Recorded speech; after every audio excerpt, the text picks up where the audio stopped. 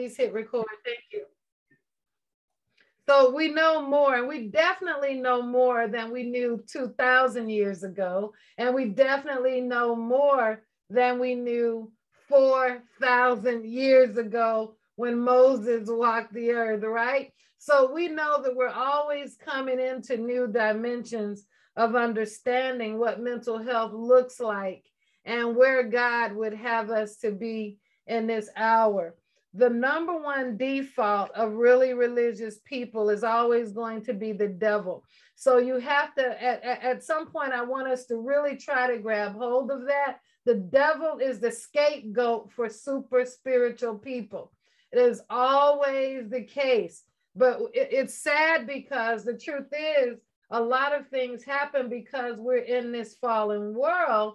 And because the world is fallen and because the world is broken, I will tell you that there will be sickness, there will be disease, there will be criminal activity, there will be all kinds of religion because the world is broken. But for us, for the people of God, we've been made complete in Christ. And I believe that completeness is something we are still struggling to understand. And as long as we don't believe that Christ fulfilled his mission, we're going to be in trouble. So I'm setting this up with just that statement because there are a lot of people that are determined for the devil to have his day. They are determined the devil will have his due, but they're not determined to give God his victory. They're not determined to give God his preeminence. They're not determined to give Christ his scepter of, of no longer holding the scepter of the lawgiver, but holding the scepter of grace. And so, because of that, many of us have made Jesus a liar. We've made him um, um, lower than the devil. But the bottom line is Jesus and the devil are not brothers. They do not have equal power. They do not have equal dominion. They do not have the same type of ability. We know that um, um, the, the evil one is the God of this world, but we also know without a shadow of a doubt that Jesus, that Jesus, that Jesus took the keys of death, hell, and the grave.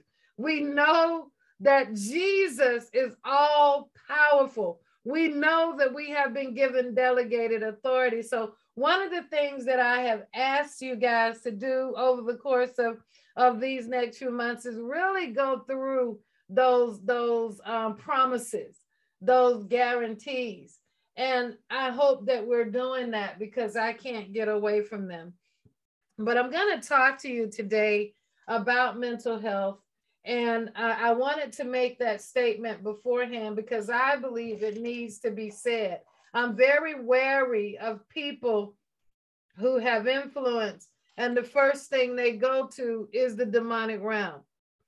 That's the first place. Instead of casting all of our cares on Jesus, you know, who cares for us, they immediately default to what's wrong with you to what door did you open. Those things are relevant, but we have to put them in context to what the Lord has accomplished. So I hope that we can be on us on the same page today. I hope that we can be teachable.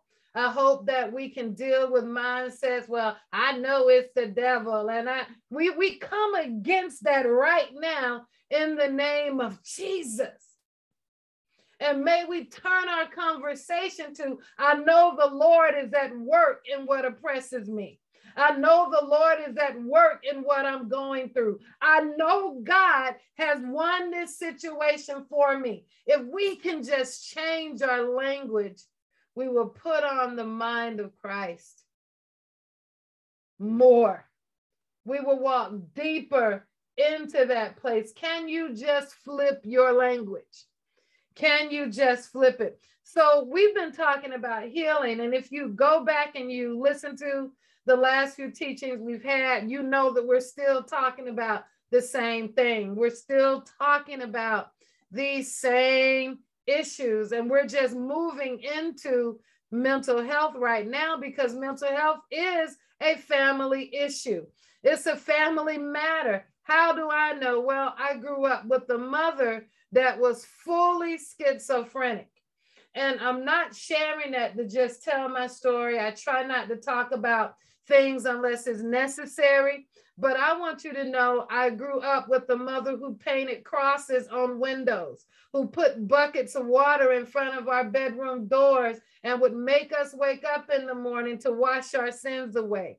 I grew up with the mother who, who would walk around street all through town, known for wearing these big crosses and holding up the crosses, warding off devils and demons. I grew up with the mother who who would would um, anoint every every every door in the house for evil spirits. And she really believed all of this. And i remember times when she would make me bathe two or three times a day because she felt that i was unclean. So we go through all kinds of things and she would just see devils and see spirits everywhere that and she swore she had a veil over her eyes and that the spiritual realm was speaking to her. And here we are in church every single day except for except for thursday.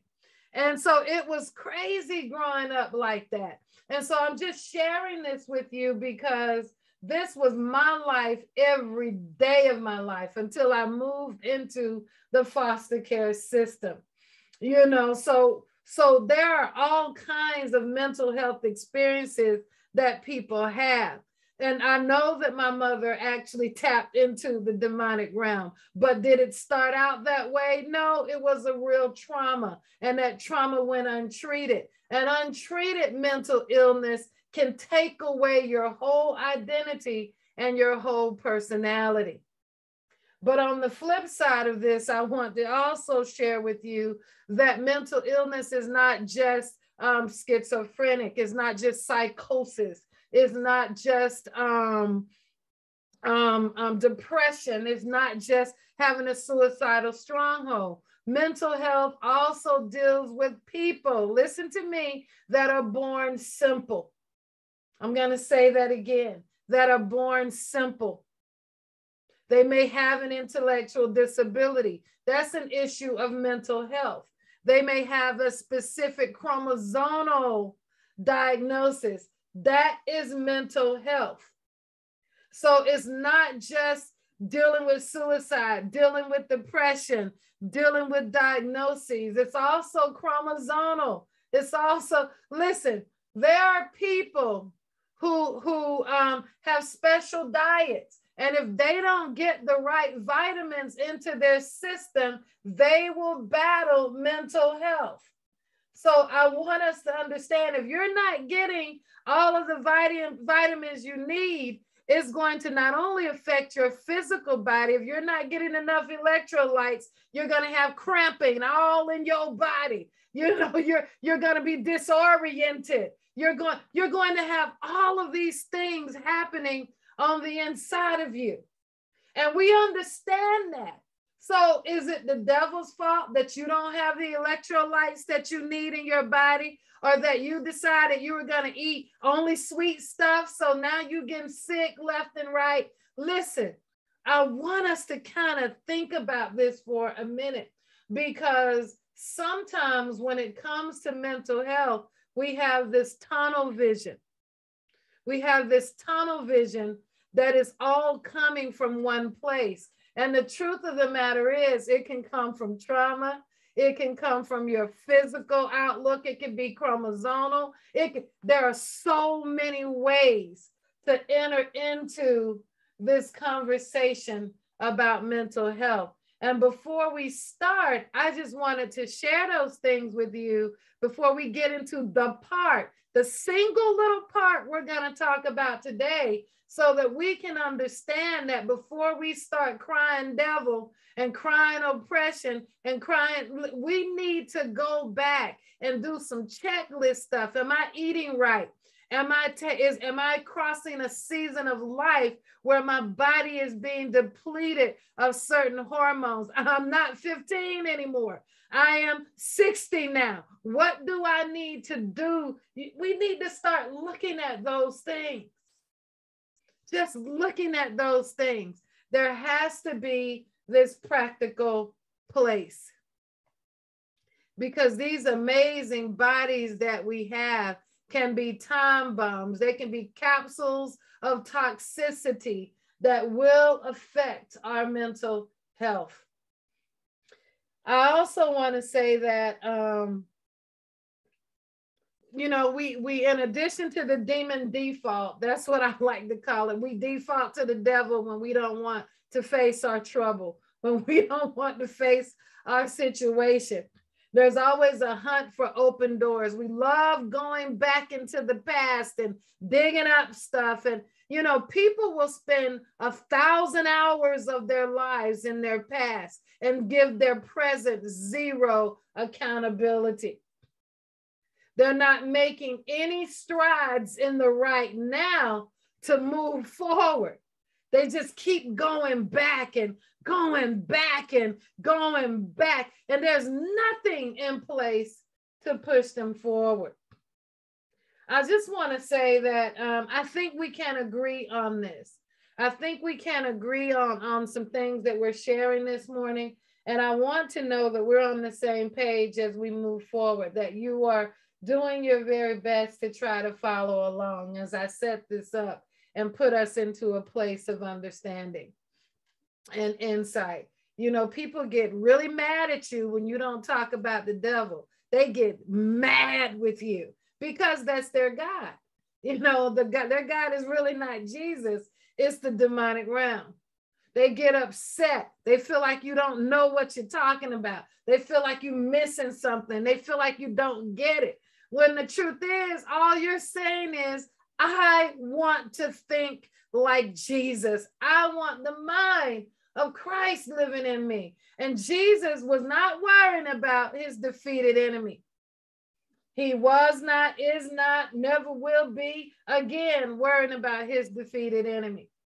That's a truth that we have to establish somewhere on the inside of us that we are really going to move forward. So this is going to be one of those difficult conversations, especially if people are among the demon hunters of this day, the devil hunters, the Jezebel killers. You know, that's all they can see. And I'm not trying to be funny. I am so serious. We have serious problems. The witch hunts of 2021. You know, we are really in that place. we really are. And we look at the day of the Vikings. We look at, you know, the Norse, the Norse people. We look at how how they were treated when um, Christianity was introduced. We look at the early days of the establishment of the Catholic Church, and it's the same kind of stuff happening today. What in the world does this have to do with mental illness? Because it has to do with our perception. It has to do with our perception. And we've had some tremendous teachings on perception. I think one of the most profound teachings is inside the Scribal Conservatory Arts and Worship Center's page, where um, Dr. K taught on perception, which was, uh, oh, that teaching, it, it changed me forever. And so I'm going to try to find that teaching because it is on that page and post it because we need that teaching. We need that teaching. Now, many people struggle inherently with healing mental health because they cannot free themselves of legalism.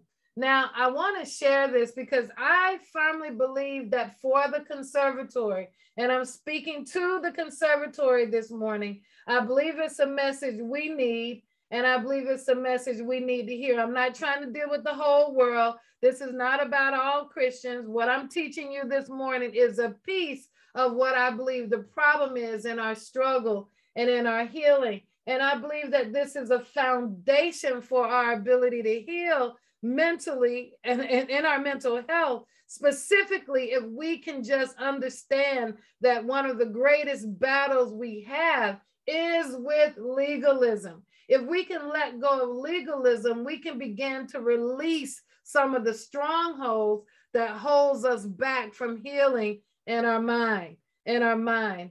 So just follow with me with this. I'm going to read this to you.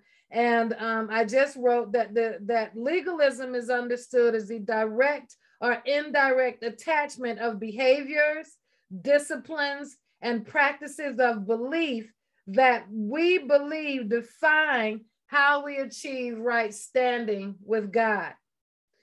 This is huge. So, if your behavior, your disciplines, your practices, how you think, all of that affects how you believe you can be healed.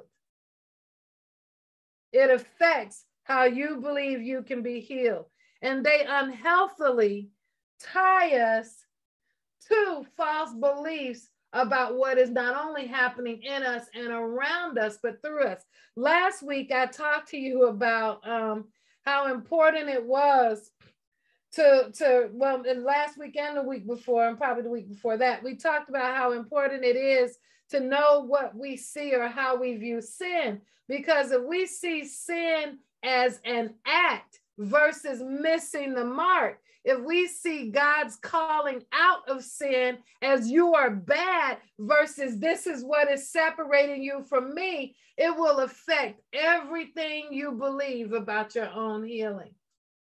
Are you all with me on that part? I want you to see how this theme song plays out in our lives. If you believe that on one side of the coin, if you believe everything is an abomination, if you have that, that's that's just unclean. And it's true, it's unclean. It's true that it's evil. It's true that it's bad. But if your whole world is shaped around uh, around, oh my God, they're doing that, so they're evil. They're bad. They're nasty. They're unredeemable. Oh my God, they're going straight to hell. If that is how you see everything related to sin, then you're going to miss the highway of grace because the reason why God points out sin is because, oh my God, my people are perishing. What they're doing is separating them from me more. The more they do this, the more they practice this, the farther they get pulling themselves away from my heart. This is why I point out sin. It's two different things. Legalism put us in the hate side where hate becomes I hate people. These people are unredeemable. These people are nasty. These people are evil.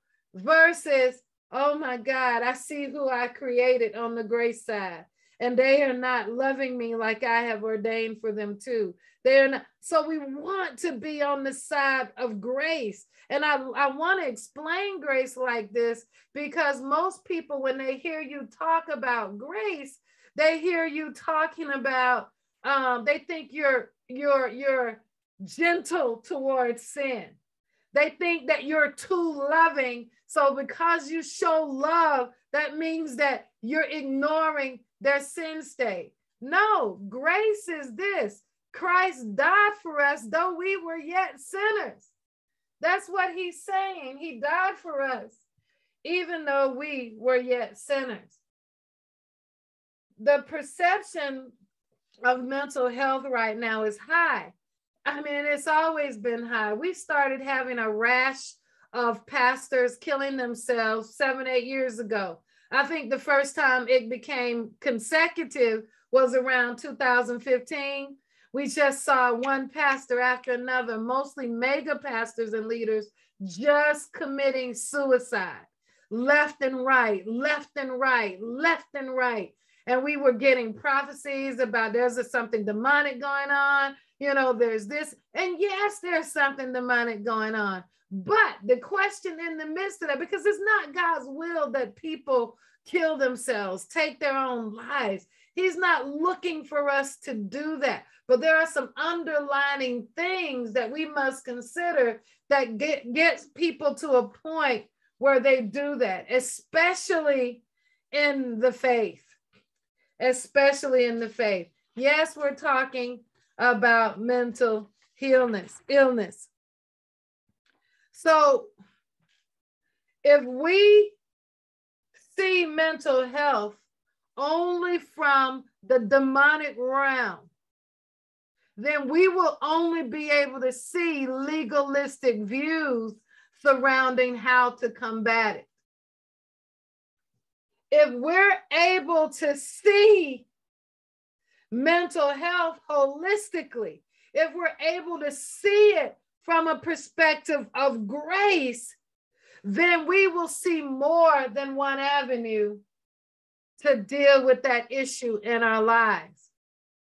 Oh my goodness, we won't see ourselves from that condemning place that often comes in the face of legalism. I want to walk you through something, um, uh, just a, a definition of mental health that we're going to use before I go into the scripture. But I just wanted to give you this part of the foundation so that you'll know um, where we're heading. I always say to people, you know, when I'm talking about mental health, I'm not a therapist, I'm not a psychologist, I'm not a credentialed pastoral counselor, but I want to let you know that when it comes to mental health, your credentials don't matter because, in that sense of the word, right now in your own healing, because we all have to face our healing process when we hit those moments in our lives. Right? I just want to make sure that that you're on the same track as I am. We love those credentials, but we also know that many of the people who have those credentials have not even resolved their own struggles. So we want to make sure that we all have the right to talk about mental health because we're all people who have those battles. Well, I don't deal with mental health. Well, if you have grieved for someone you lost, you've dealt with mental health. If you have been stressed and overwhelmed by a situation, you've dealt with mental health. If you've struggled to forgive and you've held on to offense, you've dealt with mental health. If you have a loved one who has autism or Asperger's, you've dealt with mental health. If you have a loved one that has Alzheimer's or that's suffering from dementia, you've dealt with mental health. So you cannot say mental health does not affect me because mental health affects everyone. I mean, on a very basic level, we're dealing with the mental health of two and three year olds when we're teaching them how to handle their, their, their tantrums and how to share. I mean, that's just basic. Everyone deals with mental health. With mental health. So, in our faith, the, the ministry of reconciliation is always at the forefront. So if you are a leader in the faith and you're qualified by God, you're qualified to talk about mental health. We live in a time when people make everything a ministry. You know, I don't make my my mom's struggle a ministry. Yeah, you know, I'm not saying people aren't called to address issues, but my ministry is reconciliation. If you are called to any form of ministry, your ministry is reconciliation. Can you agree? Can you agree? God never said, Theresa, I bestow upon you a ministry of mental health. No, He gave us a ministry of reconciliation in whatever capacity we are sent. Oh my gosh that goes for a whole lot of things, but I'm just going to leave that right there because most of us won't even be able to understand that because of the commercialization of ministry today. People have to be the guru of this or the guru of that. I'm called to reconcile. If you really watch the scribal ministry, we're reconciling scribes to their purpose. We're immersing them in the reality of the Father, the Son, and Holy Spirit. We're bringing people back to their reconciled places. Every ministry that is a ministry ordained by God will have reconciliation at the center, including anything addressing mental health. We may be anointed and graced to help people heal in their mental capacity, but everything is about reconciliation. so we just need to get back on the railroad track we're supposed to be on. So when we look at mental health, I want us to understand that mental health is defined as our personal, intimate state of being as it relates to our emotional, psychological, and social well being. I'm going to say that again. Mental health is our personal, intimate state of being as it relates to our emotional, psychological, and social well being. And get this it affects and impacts our life state in its entirety. How can I say that? Your mental health affects your ability to interact relationally with one another. It does. Your mental health affects how you relate to the stranger, to your husband, to your children, to grandma, to, to the people at the church, to the people in the grocery store, the people on the street you passing by. Your mental health affects how you relate to other people. Your mental health affects how you engage in everyday life. Do you rock on a chair all day and just judge people from the street? I mean, listen, your, how do you engage in everyday life? Are you productive or non-productive? How your mental health determines how you engage in everyday life. It does. If you just throw your life away and, and addiction has a hold of you, that's a mental health issue. Right?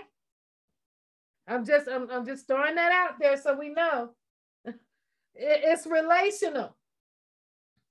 Our ability to participate productively or unproductively in society and even to sustain ourselves is a part of our mental health. Our decision making capacities reveal our mental health.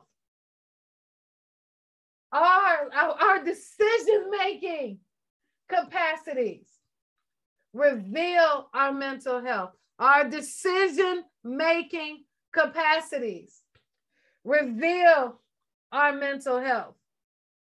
Can't say that again our ability or inability to handle stressful situations reveal our mental health. You cannot disguise your health. And listen, don't don't don't say that because a person has an inability to handle stressful situations that they got mental illness. Listen, there are people that never have problems. They're too prideful to have problems. They want you to think they always together. That's a dangerous mental health issue as well. I, I, I just I just want you to kind of see this. You know, the people who never cry, they they, they they just got it together. That can only sustain you from so long. I'm just I'm just telling you. We we need to really, really, really look at some of this stuff. And it can still be trauma. It can be trauma that got them living life as a statue. It can be trauma. Oh, I got to be strong for everybody. It's a mental health issue.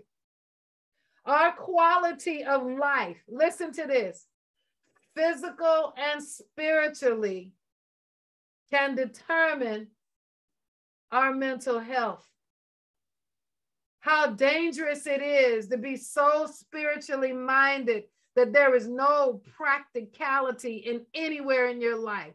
It's all about what's happening in, in that's happening magically. Magic everywhere. Magic. Magic found my keys. I'm, I'm, I'm just throwing this out here. The leaf fell off the tree. There's magic in that. It's not, when the truth is, it's just a changing of seasons. or somebody hit a rock or a gust of wind blew and the leaf fell. Listen, mental health is everywhere. Mental health is everything from birth to age, whatever. We are always in this place of mental health and having to deal with ourselves. I mentioned to you before, mental health can result from birth defects, chromosomal issues, resulting in intellectual disability, different um, types of, of behaviors on the autism spectrum, brain injury. Mental health can come in all kinds of ways. Because of that, we cannot keep saying everything is the devil.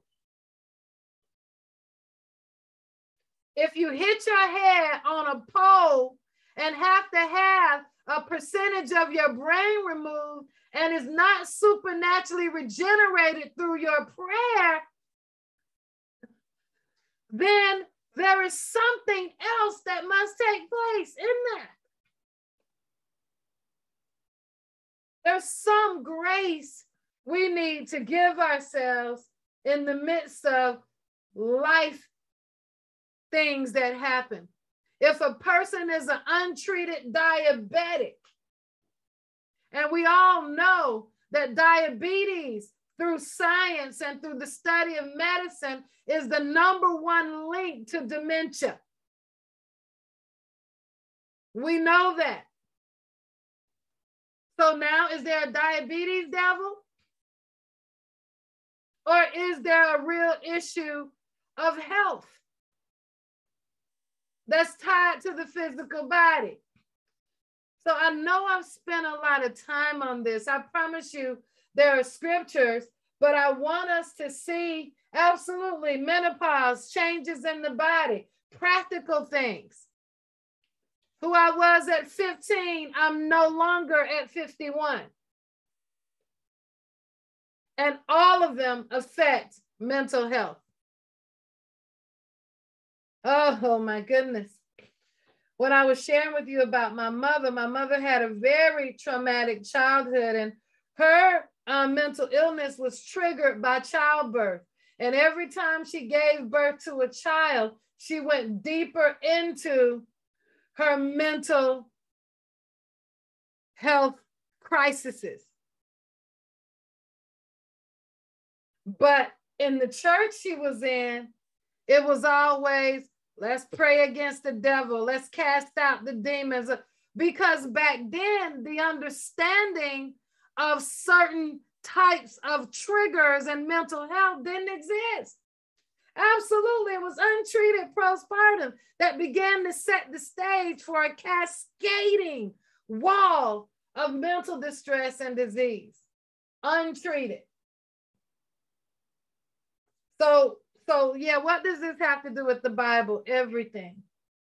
Everything, because I want to move you from legalism to grace. And not just legalism to grace for other people, but grace for yourself. When we can understand that I am the way that I am, not, uh, not just because I have a devil, not just because something is wrong with me, not just because I'm cursed, not just because it's been passed down from. If I can know that God is with me in whatever state that I am in, I will have the grace to heal. I will have the grace to walk through without condemnation.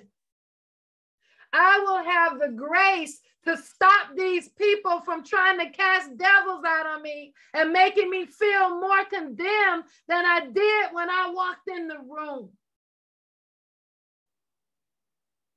I will have the grace to say, God is with me even in this place that I am. Because I'm going to tell you, God was with the man that had legion on the inside of him. God saw that man. even in the midst of demonic oppression, and set that man free without 50 hours of counseling. There was grace for him. Oh my goodness. And there is grace for you. Oh God. I'm just trying to make sure I'm going in the right direction with this because one of the main reasons why people struggle to heal from mental illness is because of mental health or mental illnesses is because they're ashamed. Shame. Pride.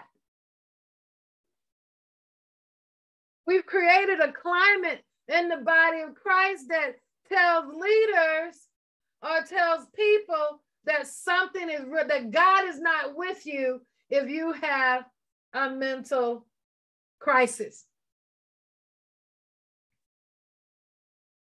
I remember when my son was born and he was having all these problems. And some of you know, you know, um, some of the, they started off with one diagnosis.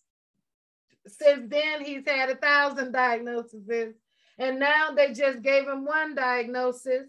And, and, you know, and I'm like, okay, you know, whatever the diagnosis I need to get him the services and resources he needs, that's what I'm going with on paper. But God is with my son. whatever state that we are in, God is with us. God is with us. You need to know that. I want to I want to share something with you. We're going to take a look real quick at Isaiah 53. And we all know Isaiah 53. We know this is the messianic passage that um, prophesies Jesus. Um, for those that are, are in the Christian faith and that believe in the messianic prophecies, the revealing of Christ in the old covenant into the new, and the connection by revelation that is made. Um, I want you to, I want you to just see this because Jesus dealt with mental health. There are people who will tell you that there is nothing um, tangible about how to deal with mental health in the scriptures. I, I beg to differ. And I know you do too. I believe the whole Bible is about having the right mind, to put on the mind of Christ, being stable in the things God calls you to do, changing your mindset, changing your thinking, transformation, metamorphosis. I believe reconciliation is all about your mental health. As a man thinketh, so is he. But even if you're not able to think right, even if you're in the midst of your struggle, we need to know by grace that God is still with you. And that is what I want you to know today as we walk through this. So I'm going to try to go as fast as I can. Isaiah 53, 4 through 11. Um, this is one of our uh, messianic passages, and it's about Jesus. It's about prophesying his existence, his existence. And the scripture tells us, surely he took up our pain. Now I'm going to go to the favorite one, the one we know the most. Surely he has borne our griefs and carried our sorrows. Yet we esteemed him stricken, smitten by God, and afflicted. But he was wounded for our transgressions, he was bruised for our iniquities. The chastisement for our peace was upon him, and by his stripes we are healed. I'm reading this today not from the perspective of what Christ, uh, what was accomplished through Christ, through Jesus Christ. I'm reading it because I want us to know that he, that Jesus went through grief, he went through sorrow. He was stricken. He was afflicted. He was smitten by God in a moment for our sakes. He was wounded for our transgressions. He was bruised for our iniquities. He suffered. He suffered. And it was, it took a toll on his mental health. And we don't look at that that way. But I, when you go back, and we're going to take a look at this, so I'm not going to go there ahead of time.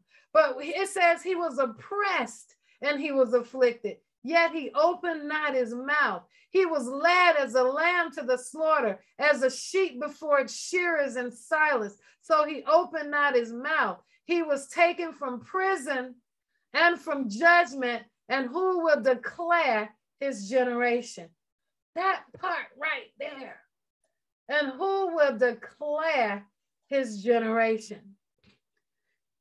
You know, I look at that passage and and no one, you know, the other passage of scripture says, yet who of his generation protested?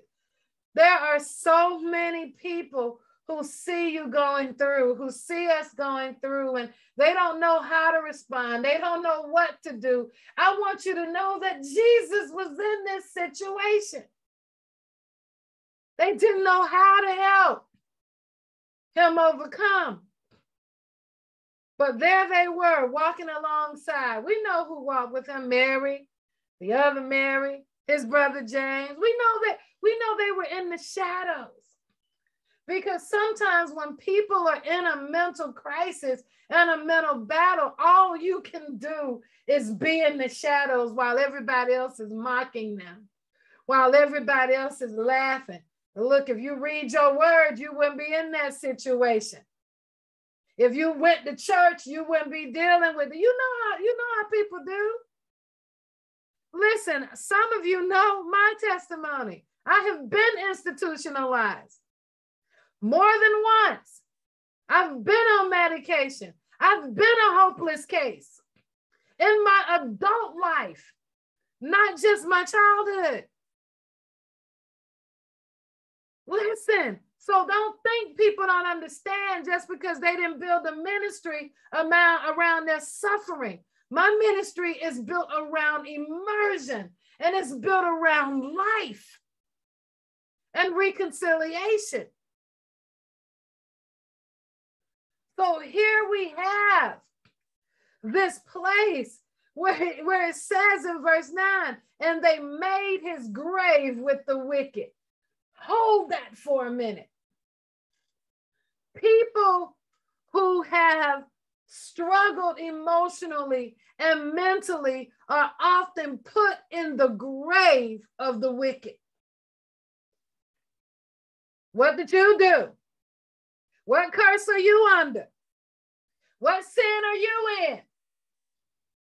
Oh my gosh. What did you do?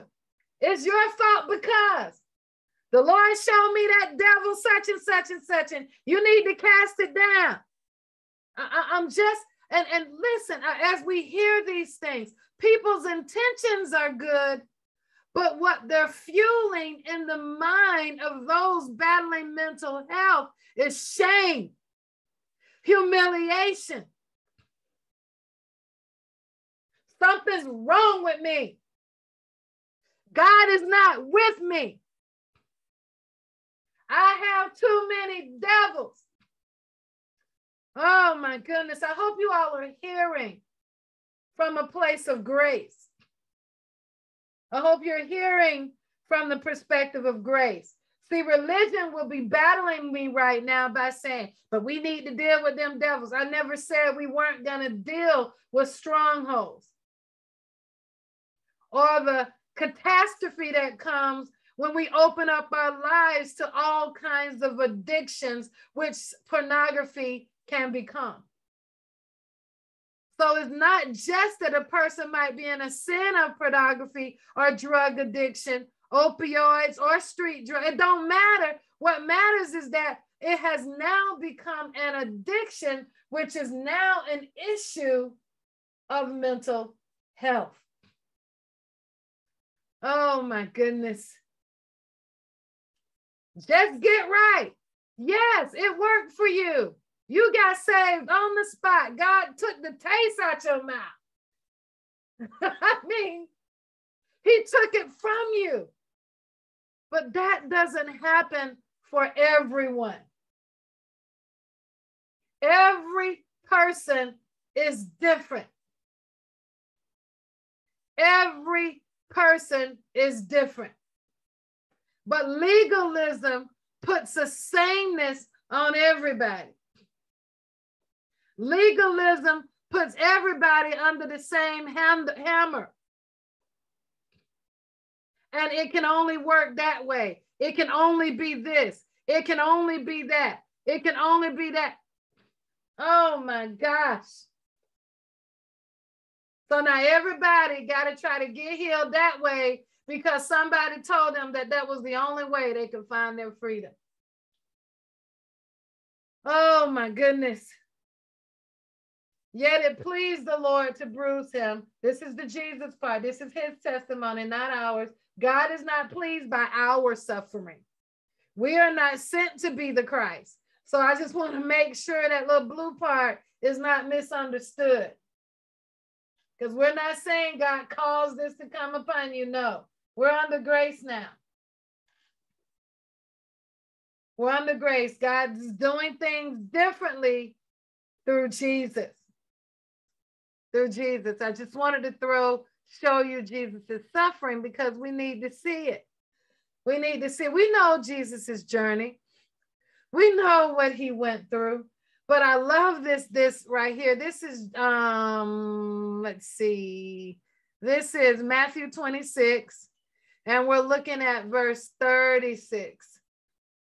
And I guess we're going to look at I think this is the new King James. I'm going to go through it real quick. I want you to see this. It says, Then Jesus went with his disciples to a place called Gethsemane, and he said to them, Sit here while I go over there and pray.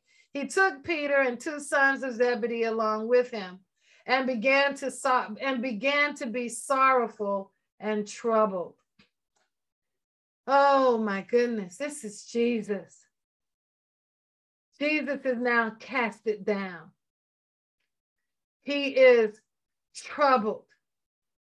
He is hurting. Then he said to me, My soul is overwhelmed with sorrow to the point of death. Now, Jesus is suicidal. Jesus is heavy. He said, My soul is overwhelmed with sorrow to the point of death. This is very important. Has your soul ever been troubled to the point of death? Mine has. Both times I was put in the hospital was because I had tried to kill myself. Both times were suicide attempts, not just a nervous breakdown. My longest stint was eight weeks. Eight weeks in a room with someone assigned to my door 24 hours a day so I would not attempt to kill myself. I want you to hear me. If you have not felt cast down to the point of death, then you, you probably wouldn't see this passage that way. But if you read the Messianic prophecy, Isaiah 53, if you follow the progression of this Gethsemane experience, you'll understand that this is exactly what Jesus was saying. Oh my God. Oh. Then he returned to his disciples. And um, where was that? Okay, yeah. My soul is overwhelmed with sorrow to the point of death. And he says, Stay with me. Keep watch with me. I'm not feeling strong right now. I'm feeling so weak. I'm so broken. I just need you to stand with me. Going a little farther, in other words, here he is. He's pushing through. He's pushing through. He's pushing through. He fell. The spirit did not fall on him. He fell as if a man given up.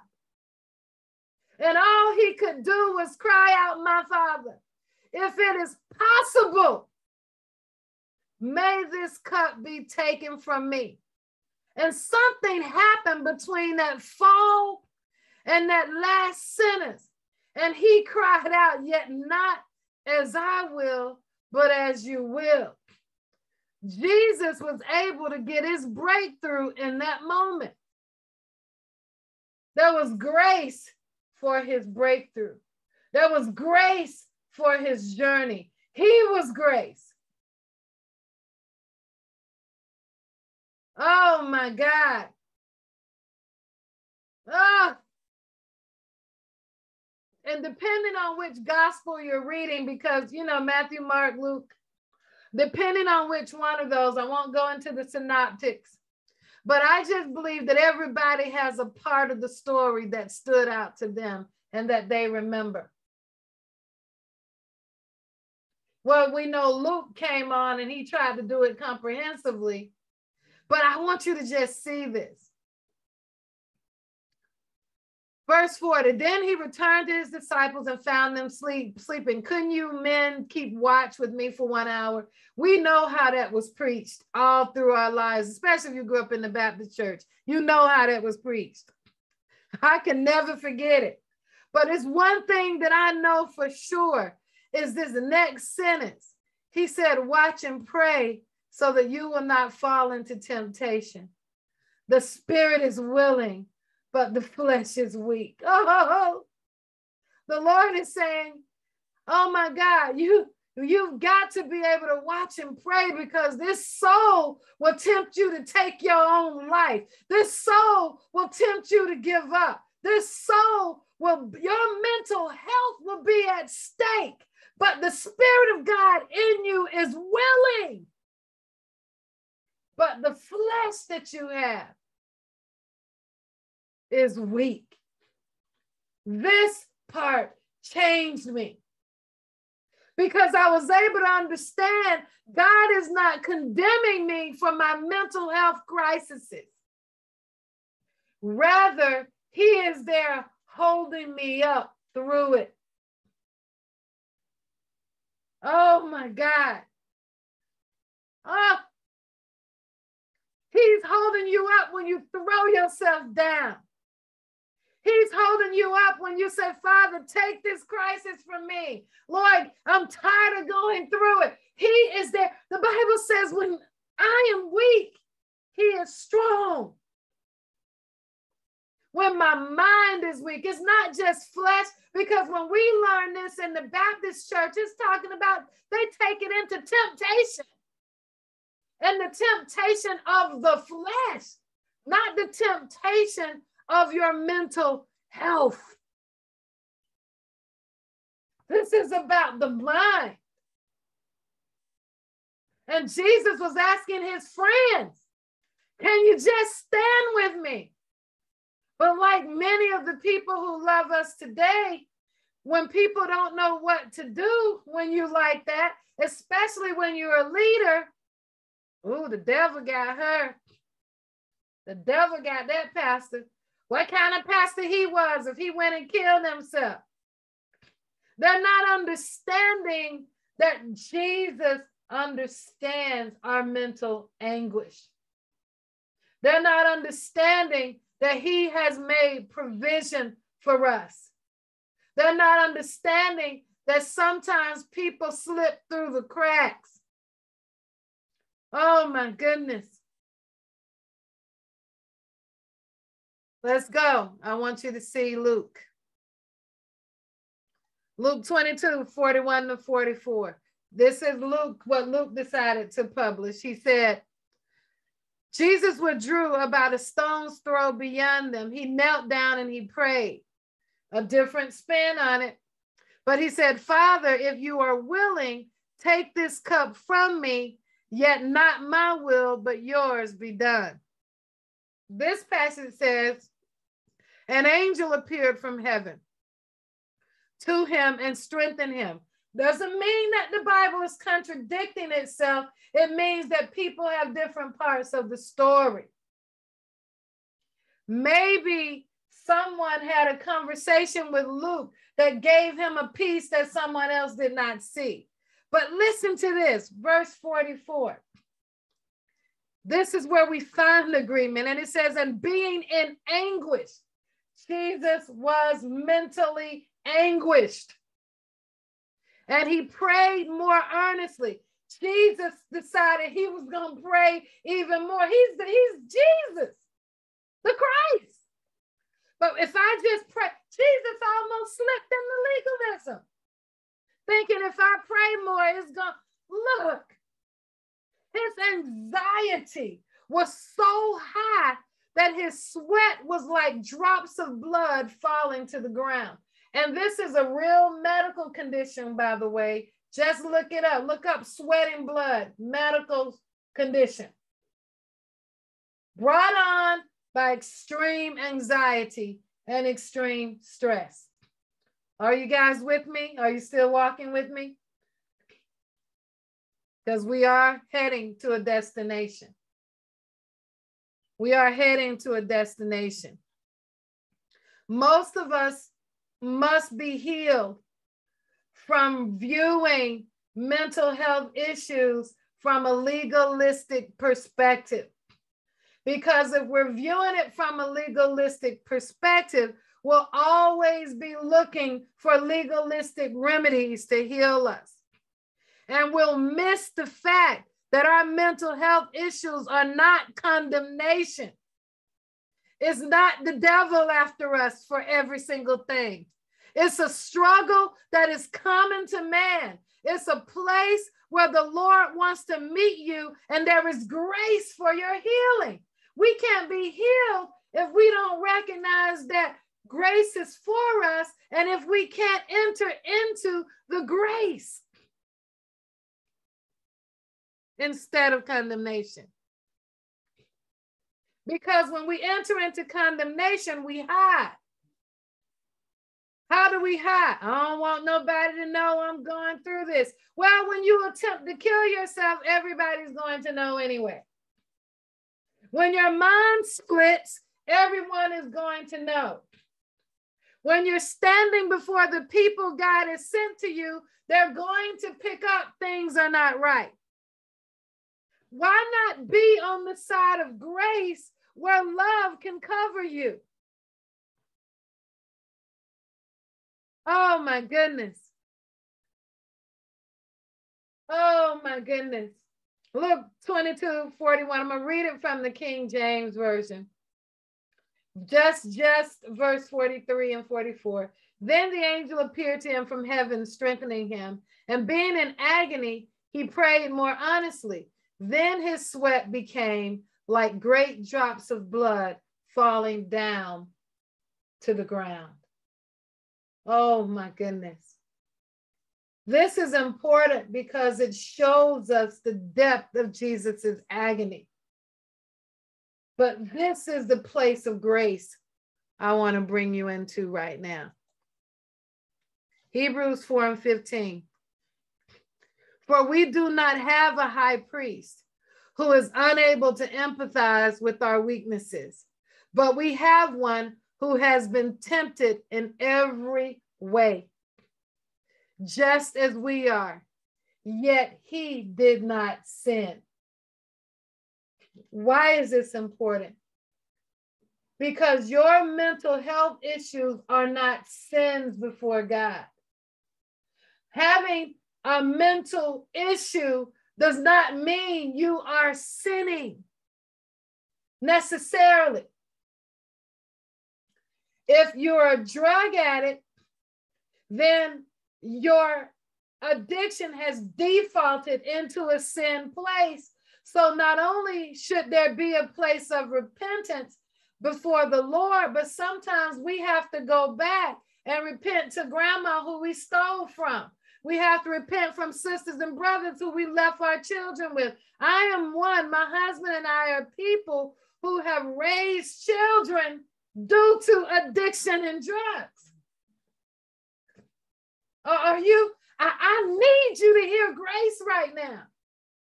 Your mental health struggle does not necessarily cause you to sin or put you in a place. Mental health is a mental health issues is illness.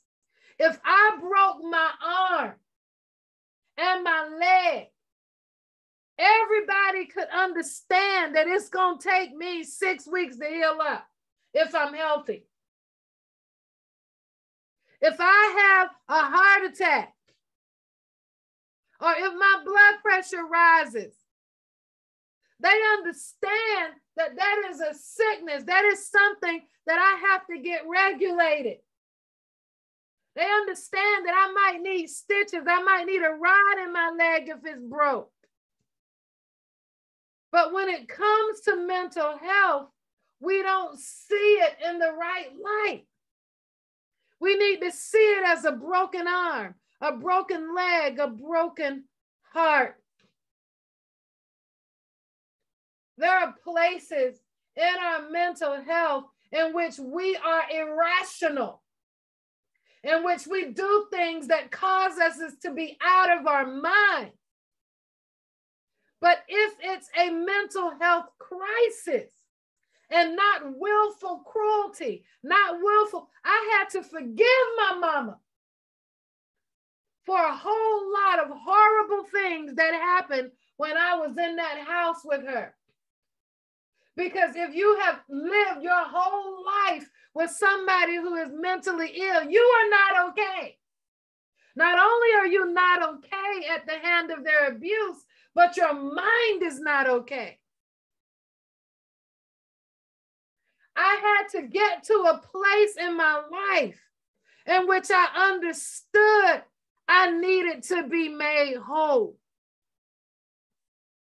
I had to stand at the pool of Bethesda for 35 years until I got a breakthrough.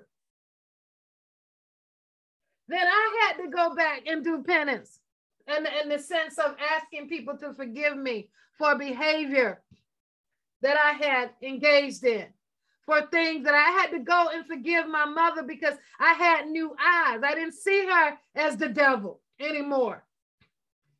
I started seeing her as a broken woman who never was healed, who never was understood, who needed grace, and there was no grace for her. I'm giving you these as examples. You have to give yourself an opportunity to understand that when you're dealing with grief, when you're dealing with, with a mental instability, when you're battling depression, when you're manically depressed, when you're suffering from bi- bipolar diagnosis, when you're you have to give yourself grace in your lucid moments to not only recognize that this is a real tangible thing that I'm facing, but that God is with me in every way possible, even if I am not healed in this moment before me right now. Jesus' life proves to us that we can go through something and keep achieving victory as we go through. I look at my grandson, my, my granddaughter, and I look at my um, son. And one of the most profound prophecies I ever received about my son one day when my family and I were going through, I was at my end. I was tired. I hadn't been able to get rest. We're dealing with this particular issue concerning him. It's a daily situation taking place. And I'm like, God, what is going on? I'm about to lose it. I'm cracking at the hinges. I'm at the fringes of jumping off a bridge somewhere. And I remember this. I remember, Lord, why? I just kept asking God, why was this happening to me and, and my children? Just being honest with you. Because we go through that. Was I sinning when I said that? Absolutely not. I was lamenting before the Lord. I didn't make a decision. I didn't decide to leave him. I didn't withdraw and take another place and go to doing something else. I, that was me in my fight. You cannot be upset uh, with yourself because of how you fight. God knew what was in my heart anyway. And we've talked about that. So I just had to verbalize it and bring it to the table. I don't want to put that in my journal. I can't speak that. Well, you've already spoken it. The scripture tells us clearly that the Lord sees our thoughts. Why not write it down? It'll help you to put it to paper. It'll help you to speak it. But this is what got me. The Lord said to me, He said, through um, a prophetic word. He said, I am with your son. I'm with your granddaughter. I'm with your mother. I minister to them exactly where they are. Oh my God. God is ministering to the brokenhearted. He's ministering to those who have struggles we don't understand or can't comprehend. He's ministering to the simple.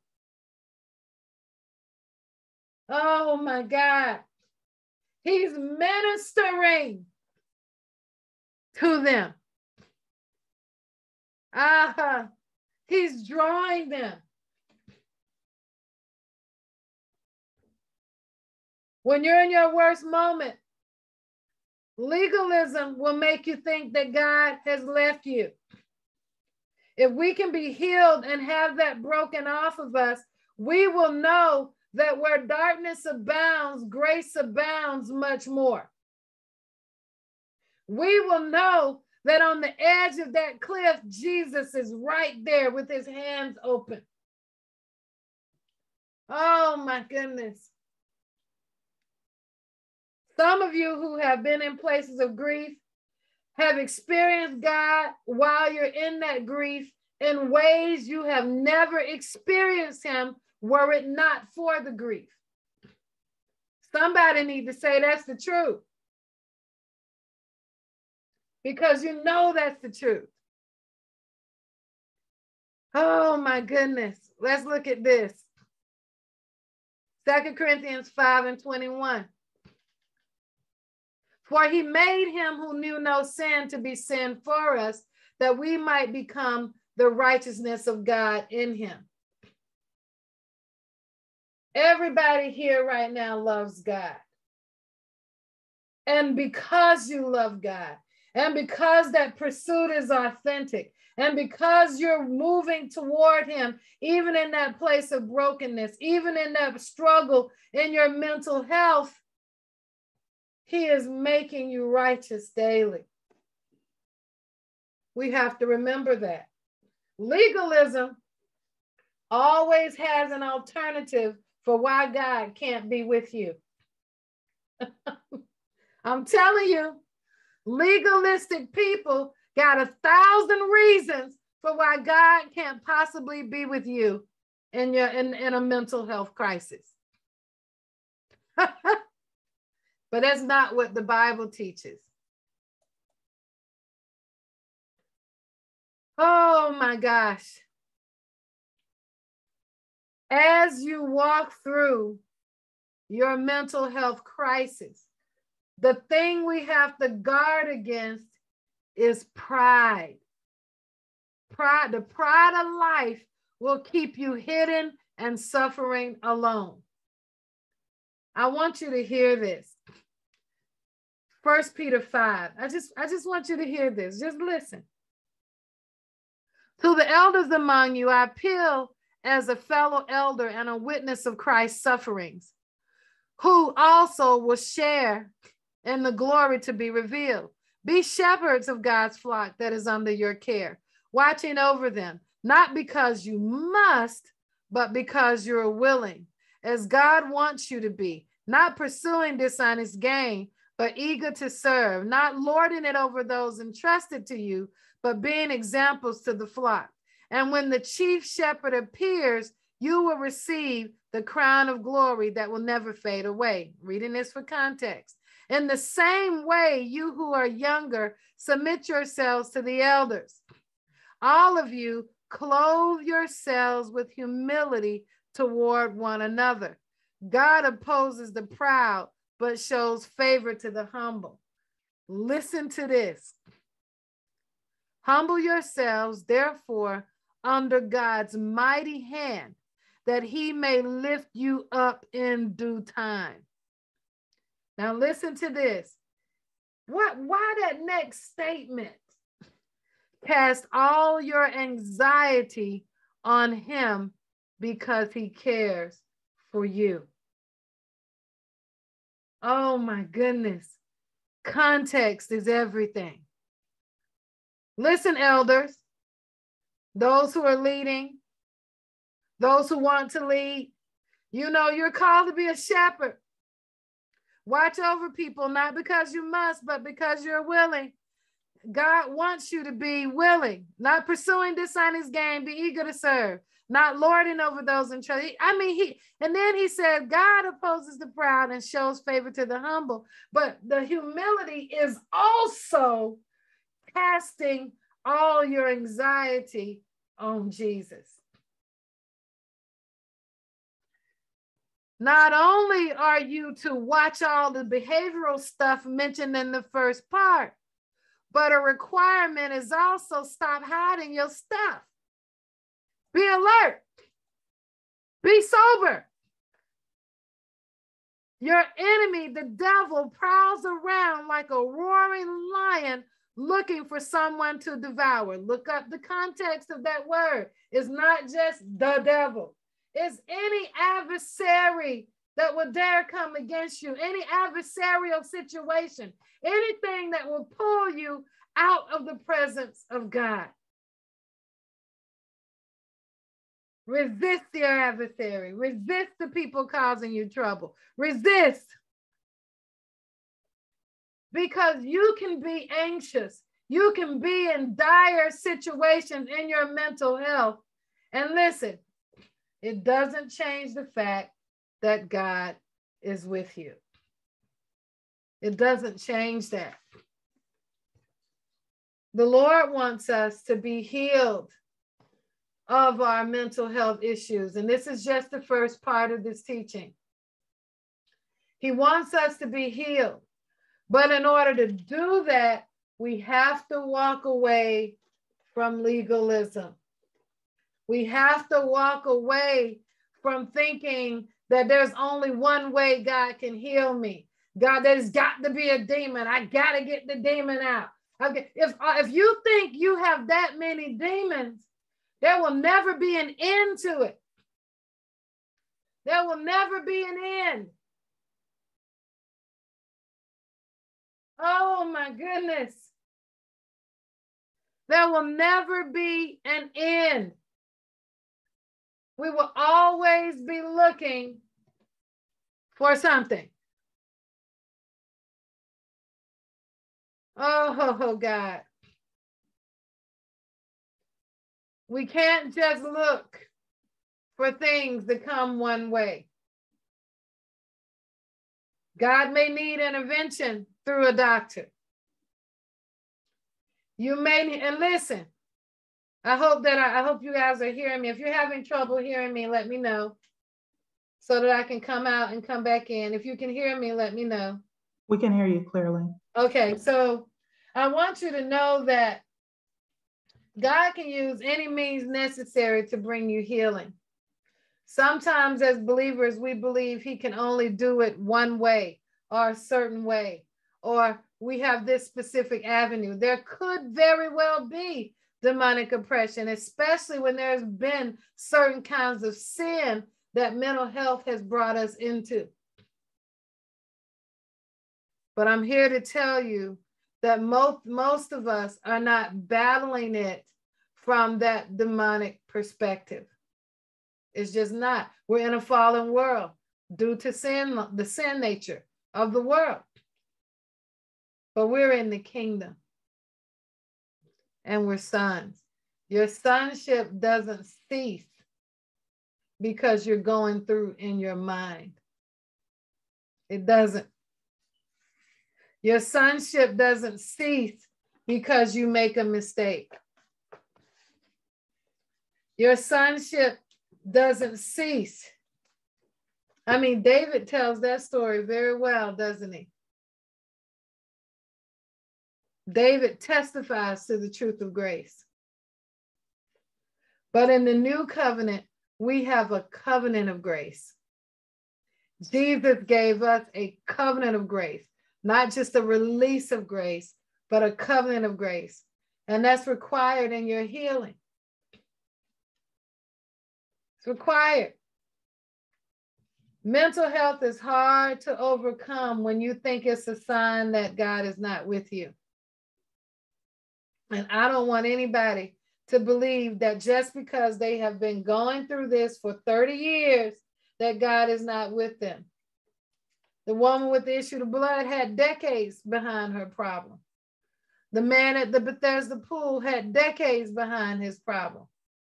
And whether we get healed or not in this lifetime, God is still with us.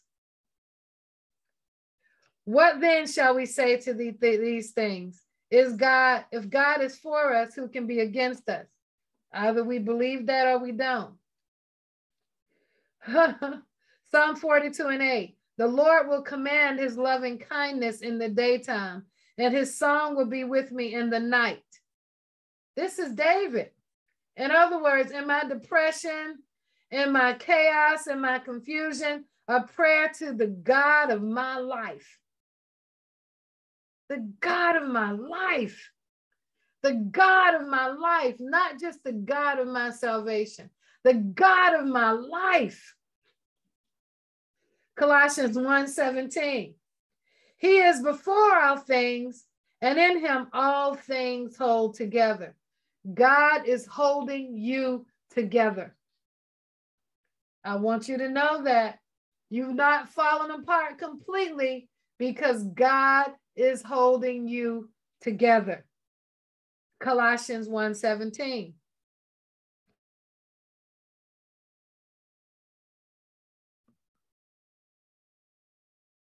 She'll be right back, everyone. Thanks for your patience. Phenomenal and so many things uh, stand out but one one of the things that and and it actually is in line with what apostle was talking about right before um, the communication broke off. I was on a missions trip um, some years ago in the philippines and there was one young lady who she had a very a severe cleft lip and we were believing and believing that god was going to miraculously heal her. Like allow the cells in the skin to grow back right on the spot. And when he didn't do it, I'm going to tell you, I was a little upset about that because we know God can work miracles and there was an expectation. But later I found out that a doctor in the US was able to do reconstructive surgery and reconstruct all of that. So she was healed in a way that was way different than what we expected. So when Apostle was talking about everybody is going to have a different well god has a different way of how he might heal us. We need to just have open hands and be ready for however he wants to do that especially in our mental health because it's so vast. There's so many things people are going through. We can't put ourselves in a place where we're comparing how we're being healed. Just because somebody else was healed a certain way why is there an expectation that we be healed the same way? So we just have to be open to how God wants to do what he wants to do, not what we want him to do. So amen. I just wanted to share that. I am back and I think the mo- the message we needed we got. I don't think I was gone longer than 5 minutes. Am I right? Right. Yeah, so we're good. So I hope this I love what you were sharing because um, um, uh, Prophet Andrea, I love this because um, I, you know one of the reasons why one the the last straw for me getting leaving the church. I got tired of people bringing me up. When I say leaving the church, I meaning I mean the machine of the institution. I've never left the Church of Jesus. One of the struggles that I had was um, my husband and I, you know, after my son was born and he had all the problems that he had, the first thing that that they did, and they meant well. Please, your family, else in your family like your son? I was like, no. Um, they were like, well, did you and your husband do drugs?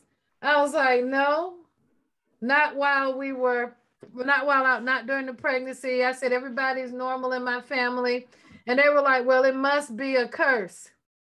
And then it was, um, well, God's going to heal him. And I got tired of every Sunday or every time a revival service, my son was the was going to heal him of his intellectual disability. God was going to heal him of his other disabilities. You know, all these things. So why am I sharing sharing this? Because we are in a place in ministry in which we have to sometimes receive people for who they are and where they are and accept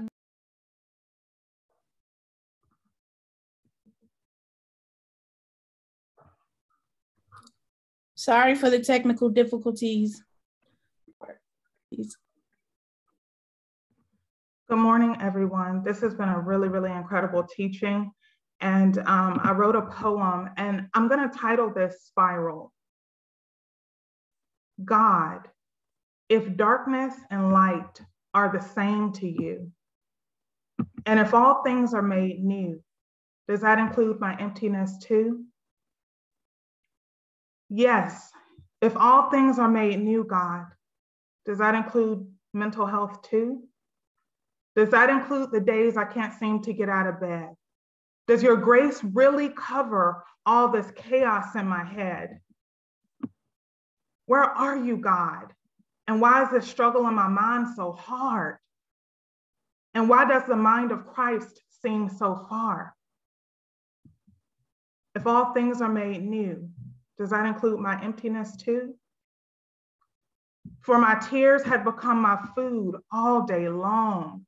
And religion said that I had to be doing something so wrong. Shame tied me up.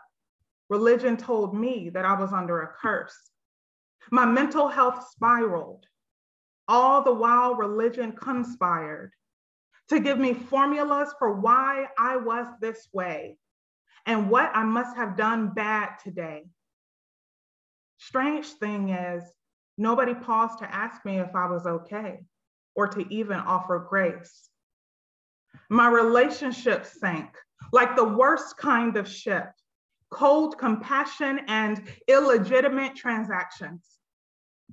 Meanwhile, I couldn't get out of bed. Religion told me to pray more, they said. God, if all things are made new, does that include my mental health too? Yes, religion said I was doing something wrong. Christ, on the other hand, came and said, It is done. The work is finished. And before you ever struggled in your mind, the work finished the entire time. For the Son of God was slain before the foundation of the world, and the crown was placed for every mental issue you face. This is not a punishment, just a part of being in a fallen world. But if you trust me in it, I'll minister to you right where it hurts. You are redeemed, so never forget it. No matter what you face, you have my presence. For the isolation and the rain, I give you my presence. For the spaces of confusion and delusion, I give you my presence. For the spaces of shame, religion, and tormenting pain, I give you my presence. And when you feel like no one understands, and when you secretly wonder, is life really worth this dance? And when your soul's so exhausted, it needs to breathe. And when your mind fights you so profoundly that it's getting harder to breathe. And just because you may battle depression and different forms of mental deserts, and just because it seems like things will never change, and that the clarity you seek brings you so much shame, and just because right now life may seem like hell instead of heaven, Always remember, beloved, I've given you my presence. My presence will be enough for you, even in the darkness of your life. There, I'll be your light. And no, I haven't rescinded my promises to you.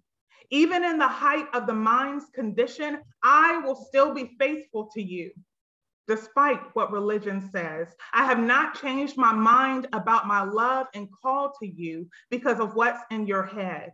I, the Lord, give you compassion. And for the times the clarity you seek brought so much shame, just know that my grace is still actively working in your life in Jesus' name.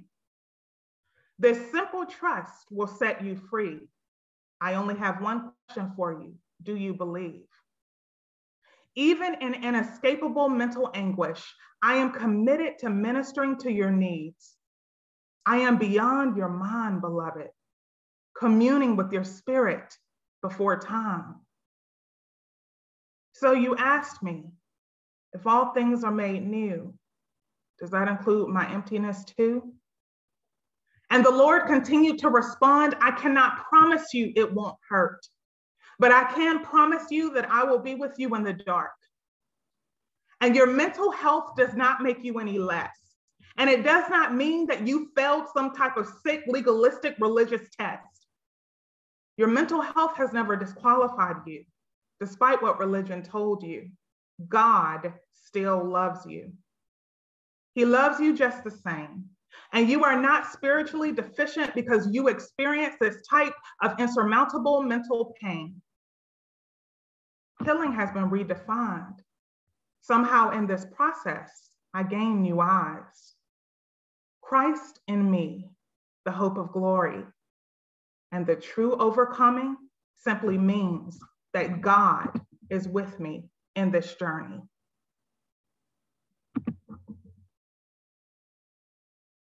Amen. Woo, praise God.